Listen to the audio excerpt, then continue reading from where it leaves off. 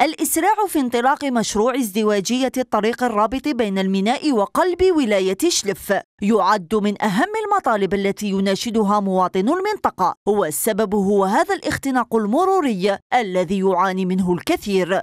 الطريق خصنا طريق سيار يجينا من ليطورال وخصنا طريق تاع الشلف في الصيف. روح يا أخي مرحبا لك في الصيف.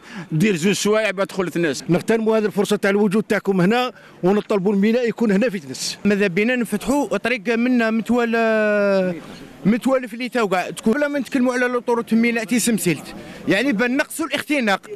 مصالح بلدية تنس ترى أن مشروع ازدواجية الطريق وكذا توسيع الميناء قد يخلقان آفاقا وحركة اقتصادية وتنموية للمنطقة. هذا المشروعين يعني راح يكون عندهم أثر إيجابي كبير على التنمية المحلية واللي راح يفتحوا واحد الآفاق. ممكن جدا يكون هناك ميناء جاف ممكن منطقة نشاطات أو منطقة صناعية. من دون إعادة الاعتبار لمداخل المدينة وتوسعة الطرق المؤدية إلى الميناء تبقى التنمية المحلية بلا معنى. في ظل تأخر انطلاق هذين المشروعين المهمين لمدينة ساحلية سياحية.